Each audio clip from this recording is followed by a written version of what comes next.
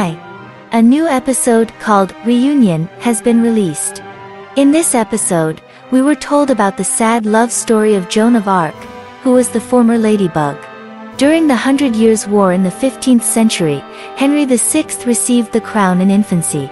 But instead of him, the Duke of Bedford temporarily ruled, on behalf of his minor nephew Henry VI. At that time, the owner of the ring was in the service of the king. And the Duke ordered him to conquer France together with the army. It was at this time that Jean received Ladybug's earrings in order to restore the balance of good and evil. They were fighting each other, on opposite sides of the barricades. The owner of the Talisman of Destruction did not understand that he was being manipulated by the monarchs in the battle for power. He unwittingly found himself on the side of evil. In one of the battles they fell in love with each other, and Jean opened her eyes to the current government. They gave up their miracle stones and gave themselves completely to their love. But the monarchs in power did not let them go so easily.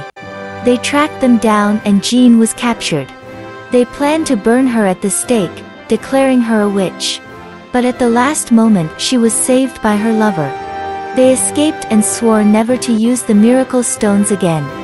This is the love story of superheroes from the 15th century. See you soon.